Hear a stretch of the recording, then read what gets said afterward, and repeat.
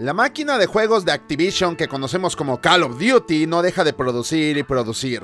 Sorprendentemente ver a otros como Assassin's Creed o Battlefield bajarse del carro, la saga de Activision sigue con su método de publicación anual sin detenerse, pero ya parece algo obsoleto. Sin embargo, sigue vendiendo, así que aquí estamos con Call of Duty Vanguard. En este caso fue el equipo de Sledgehammer quien se encargó del título. Como se habrán dado cuenta, no es el equipo más grande que ha trabajado en esta saga, por lo que la duda de si gastar en esta otra vez vuelve a surgir. Comencemos por el concepto de este título, que otra vez regresa a la Segunda Guerra Mundial. Sin embargo, a diferencia de World War II, este no genera mucha expectativa, pues se siente como un concepto más bien gastado. En especial porque el armamento ya no resulta tan llamativo y la historia... Eh, la campaña nos permite formar parte de un grupo de soldados de diferentes naciones que se unen en una misión especial para detener a Hermann Freisinger, un alto mando nazi que es uno de los pilares para acabar la guerra. Durante el transcurso de la historia tomaremos el rol de diferentes guerrilleros, mismos que contarán con su propio relato que nos contará a través de flashbacks cómo es que llegaron a ese punto. Y lo cierto es que, aunque en algunos momentos es interesante, la campaña de Vanguard se siente más diluida en comparación con lo visto en Cold War y más aún si la comparamos con Modern Warfare. Los personajes son interesantes, sí, y habrá momentos de mucha acción. Sin embargo, nada que resalte como para sentir que vale la pena invertirle tiempo. De hecho, es más corta que de costumbre, pues en menos de 4 horas ya tendrás los créditos enfrente. Hablando de la narrativa en sí, iremos saltando entre los diferentes conflictos en forma solitaria o acompañado de aliados. En sí el chiste es ver el paso de cada integrante del grupo protagónico y así saber cuáles son sus habilidades y qué los hizo reconocidos entre los aliados. La presentación es espectacular, con cinemáticas muy trabajadas que se entrelazan con gameplay de forma rápida y elegante, al menos en la versión de PlayStation 5. Nos situamos en los días finales de la guerra, por lo que no habrá mucho sentimiento de pérdida o desesperación, cayendo en varios clichés de historias de este tipo, como el típico alto mando alemán que siempre ansía el poder por encima de todo. Para adornar los capítulos del juego, cada integrante de la campaña tiene habilidades especiales. Lucas Riggs, que es el líder, puede indicar a dónde deben enfocar sus compañeros el fuego, aunque esto no se sienta útil más que nada porque son momentos muy scripteados. Polina Petrova es la más interesante de todos, tanto su historia trágica en la destruida ciudad de Stalingrado como su personalidad atrapante. Esta puede trepar superficies como si se tratara de un Far Cry, además de mucha habilidad con francotiradores y misiones que se enfocan más en el sigilo y el acecho. No nos olvidemos de Wade Jackson, un soldado que le sabe a los explosivos, y Arthur Kingsley, que es un piloto, teniendo la única misión donde vamos a bordo de un avión. Esta, por cierto, me decepcionó mucho por ser tan corta, pues los controles estaban buenos y pudieron explotarse para algo más. Incluso, no sé, adaptarlos al multijugador. Además, esa sección donde debes bombardear un barco cayendo en picada me sacó canas verdes. Aún después de pasarla, no entendía cómo fregados lo logré. Diría que salvo una misión de Polina y la del final del juego, sentí la campaña como un extra que resta más de lo que aporta. Entiendo que las críticas tras Black Ops 4 por no contar con esta modalidad fueron fuertes, pero si no había nada que presentar, mejor hubiera sido aguantárselo para después. Pero bueno, en su totalidad, este juego me pareció innecesario en todos los sentidos. Pero tranquilos que quedan más apartados que explorar.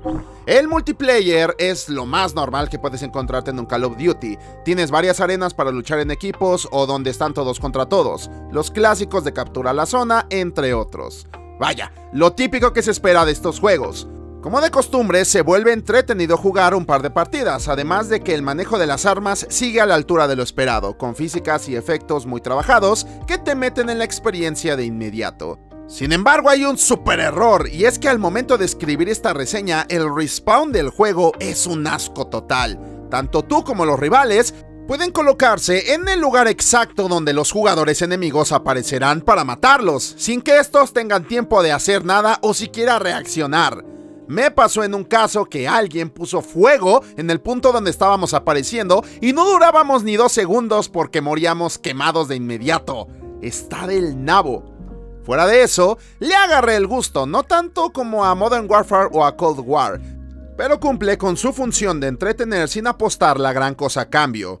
Su más grande aporte son dos modos de juego. El primero llamado Champions Hill, la cual sirve de enfrentamiento en arenas pero con un giro peculiar. Hay varios tríos o dúos, depende de lo que elijas, donde tendrás un grupo limitado de vidas. Hay varias rondas para enfrentarte a otro grupo de enemigos y con el tiempo serán eliminados los que pierdan todas sus vidas. Es un modo interesante pero puede volverse pesado tras un par de partidas porque en cierto momento se sienten eternas. Y el otro aporte es prácticamente un defender la zona, pero esta estará en movimiento constante, generando que los rivales se encuentren en diferentes puntos del mapa y evitando así el campeo de estos mismos. Fuera de eso, todo normal. Además, Vanguard agrega una división de categorías de modos de juego para diferentes tipos de jugador. El táctico tendrás combates de arena clásicos de la franquicia de 6 contra 6. El siguiente es denominado Asalto, te meten partidas de 10 contra 10, para que en Blitz entres a partidas más grandes de 24 contra 24 jugadores. Ya depende de ti si quieres algo más express o estar en tiroteos más duraderos. Ya, no hay la gran ciencia, más allá de la típica subida de clasificación que desbloquea armas y equipamiento, no te encontrarás realmente la gran novedad. También hay operadores que desbloquear realizando distintos objetivos, pero nada del otro mundo. Quizá lo más atractivo del paquete son los zombies, mismos que han servido para mantener al fandom al pendiente. En este apareceremos en una sala principal situada en Stalingrado, donde podremos mejorar armas, conseguir perks para el personaje o seleccionar varios objetivos a cumplir mientras asesinamos zombies a diestra y siniestra.